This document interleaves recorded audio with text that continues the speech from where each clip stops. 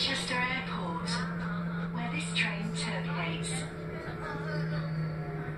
Customers are reminded to keep all personal belongings with them at all times. If you see anything suspicious, please report it to a member of staff or the British Transport Police.